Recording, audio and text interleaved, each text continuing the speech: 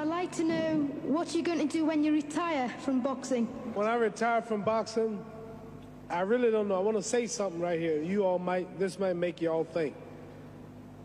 Get ready to meet God. Owning real estate, going in business, teaching boxers, that won't get me to heaven. How many here believe there's a supreme being, believe there's a God? How many believe there's some power that made the sun, the moon, the stars? How many believe that this stuff didn't just come out here? Somebody wiser than us made it. How many believe there's a God? How many believe there's not a God? All right. If I told you, you who don't believe in God, if I told you that this glass sprang into existence, this glass made itself, no man made this glass, would you believe it? If I told you this television station popped into existence, it just, no man made it, you said Muhammad Ali's crazy. All right. If that glass couldn't make itself, if this building didn't make itself, then how did the moon get out there? How did the stars and Jupiter, Neptune and Mars and the sun, how did nature, how, how did all this come here if didn't know why something planning to make it? So what I'm saying is, I believe that we're going to be judged. God is watching me. God is God don't praise me because I beat Joe Frazier. God don't give nothing about Joe Frazier. He wants to know how do we treat each other? How do we help each other?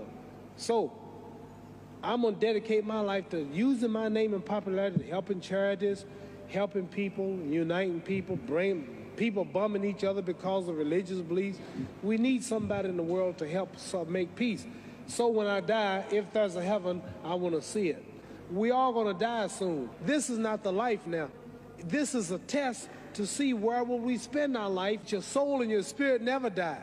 That's to live forever. So your body is just housing your soul and spirit. So God is testing us on how we treat each other, how we live, to see where our real home be in heaven. So this physical stuff don't last for so long. There have been many kings and queens of England. They're all dead. After this one is gone, another one will come. So we don't stay here. We're just trustees. We don't own nothing. The most important thing about life is what's going to happen when you die. Are you going to go to heaven or hell? And that's eternity. How long is eternity? Give you an idea how long eternity is. Take the Sahara Desert, and I told you to wait a thousand years. And every thousand years, I want you to pick up a grain of sand until the desert is empty. So it just scares me to think that I'm going to die one day and go to hell. I'm on an airplane that might blow up. I'm always traveling.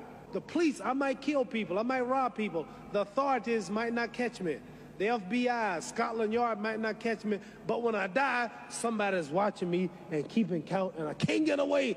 So what am I going to do when I'm through fighting? Get myself ready to meet God and go to the best place. Does that make sense? Thank you.